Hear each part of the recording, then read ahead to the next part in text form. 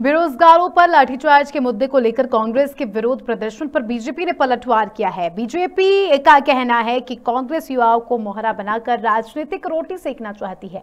BJP प्रदेश media प्रभारी मनवीर चौहान का कहना है कि जिस तरह से की कल घटना हुई है, हमारे प्रदेश का युवा ऐसी घटनाएँ नहीं कर सकता। बीजेपी ने कल की घटना को विपक्ष का षड्यंत्र बताया। बीजेपी ने युवाओं से अपील की है कि वे मुख्यमंत्री पुष्कर सिंह धामी पर भरोसा बनाए रखे। देहरादून से अवनीश गुप्ता की रिपोर्ट।